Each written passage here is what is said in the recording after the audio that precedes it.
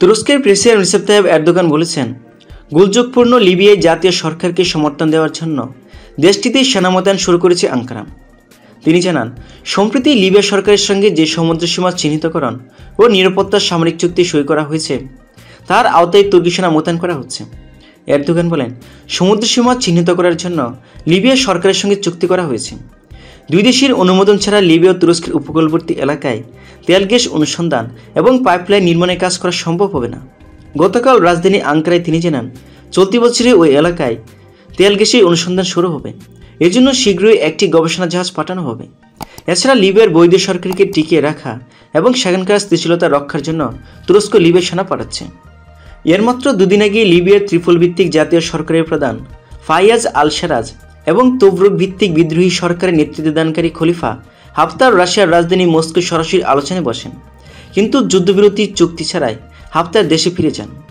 Russia এবং তুরস্ক আলোচনার ব্যবস্থা করেছিল। হাফতার দাবি করেন, লিবিয়ার সেনাদেরকে অনেক দাবি দেওয়া যুদ্ধবিরতি চুক্তির খসড়ায় স্থান পায়নি বলে তিনি তাতে সই করেনি তবে তুর্কি প্রেসিডেন্ট বলেছেন, হাফতার যদি নতুন করে লিবিয়ার সরকারের বিরুদ্ধে হামলা শুরু করে, তাহলে তাকে উচিত শিক্ষা দেওয়া হবে। সৌদি এবং ইরান যুদ্ধ পাকিস্তানের জন্য বিপর্যয় নিয়ে আসবে বলছেন ইমরান খান।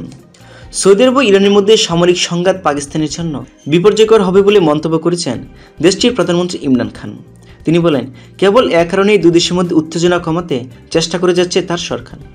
জার্মানির সম্প্রচার মাধ্যম ডয়সে ভিলেকিয়ে দেওয়া এক সাক্ষাৎকারে তিনি এমন দাবি করেছেন, গণমাধ্যমটি বৃহস্পতিবার ওই সাক্ষাৎকার প্রচার করেছে। ডয়সে ভেলের প্রধান সম্পাদক ইনেস ফলের করা প্রশ্নে যেভাবে ইমরান খান বলেন এটা সত্যি যে, আমরা কঠিন পরিস্থিতির মধ্যে রয়েছে। উদাহরণ দিতে গিয়ে তিনি বলেন, পাকিস্তানি অন্যতম বন্ধু রাষ্ট্র হচ্ছে সৌদি আরব। তারা সবসময় সে অবস্থানে রয়েছে। এরপর ধরেন ইরান। দেশটির সঙ্গে আমরা সবসময় ভালো সম্পর্ক রেখে চলছি। এসব কারণে দেশ দুটির মধ্যে কোনো সামরিক সংঘাত হলে তা পাকিস্তানের জন্য বিপর্যয় বয়ে আনবে বলে মন্তব্য করেন সাবেক ক্রিকেট কিংবদন্তি তিনি বলেন, দুদেশের মধ্যে সম্পর্কে আরও যাতে অবনতি না ঘটে, তা নিশ্চিত করতে আমরা সর্বোচ্চ চেষ্টা করে যাচ্ছি। এছাড়া আফগানিস্তানের শান্তি ফেরাতে সর্বোচ্চ চেষ্টা চালিয়ে যাওয়ার কথা জানিয়েছেন পাকিস্তানের প্রধানমন্ত্রী। তিনি বলেন, প্রতিবেশী এই দেশটি গত চল্লিশ বছর ধরে অনেক ভুক্তভোগী হয়েছে। আমরা প্রার্থনা করি যেন যুক্তরাষ্ট্র তালেবান একটি শান্তি চুক্তিতে পৌঁছাতে পারে। এমন এক সময় তিনি এমন মন্তব্য করলেন যখন বাগদাদ আন্তর্জাতিক বিমানবন্দরে ড্রোন হামলায় ইরানের প্রভাবশালী জেনারেল কাসেম সুলেমানি নিহত হওয়ার পর ওয়াশিংটন এবং তেহরান যুদ্ধের কিনারে গিয়ে ঠেকেছিল। এদিকে ইসলামী প্রজাতন্ত্র ইরানের প্রেসিডেন্ট ডক্টর হাসান রনি বলেছেন, দুই হাজার পনেরো সালে পরমাণু সমঝোতা সই করার আগে তেহরান যে পরিমাণ ইউরেনিয়াম সমৃদ্ধকরণ করত, এখন তার চেয়ে বেশি ইউরেনিয়াম সমৃদ্ধ করছে। ডক্টর হাসান রোহানি বলেন, আমরা পরমাণু সমঝোতা সই করার আগের চেয়েও এখন বেশি ইউরেনিয়াম সমৃদ্ধ করছি। চুক্তির অপরপক্ষগুলো যদি তাদের প্রতিশ্রুতি বাস্তবায়ন না করে, তাহলে আমরাও একই রকমের ব্যবস্থা নিব। ক্রিশ্চিয়ান রোহানি বলেন, যখন মার্কিন প্রেসিডেন্ট ডোনাল্ড ট্রাম্প তার দেশকে এই পরমাণু সমঝোতা হতে বের করে নিয়েছেন, তখন ইরান ধৈর্য ধরে অপেক্ষা করেছেন ট্রাম্পের মতো ভুল করেনি। এর পরিবর্তে বরং ইরান পরমাণু সমঝোতার প্রতি অনুগত দেশগুলোতে তা বাস্তবায়নের আহ্বান জানিয়েছে।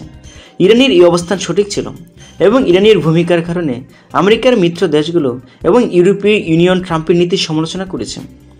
রুহানি বলেন পরমাণু সমঝোতার মাধ্যমে তেহরান প্রমাণ করেছে বিশ্বের সঙ্গে যোগাযোগের প্রয়োজন ছিল।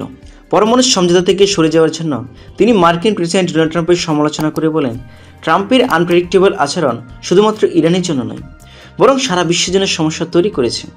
সম্প্রতি ইরানের পরমাণু সমঝোতা ইস্যুকে কেন্দ্র করে নিষেধাজ্ঞা পুনর্বহালের ব্যাপারে ইউরোপের দেশগুলোর উপর ট্রাম্প যে চাপ সৃষ্টি করেছেন, তারও নিন্দ সমালোচনা করেন প্রেসিডেন্ট রুহানি। ইরানের প্রেসিডেন্ট তার বক্তৃতায় বলেন আন্তর্জাতিক অঙ্গনে নানামুখী চাপ সত্ত্বেও আগের যে কোনো সময়ের চেয়ে তার দেশ এখন বেশি শক্তিশালী এবং আমেরিকার ষড়যন্ত্র নিষেধাজ্ঞা সত্ত্বেও উন্নয়নে সে পথ ধরে রাখবে ইরান। সম্প্রতি ইরানের সামরিক বাহিনী দুটি মার্কিন ঘাঁটিতে যে ক্ষেপণাস্ত্র হামলা চালিয়েছে, তার প্রশংসা করেন হাসান রুহানি।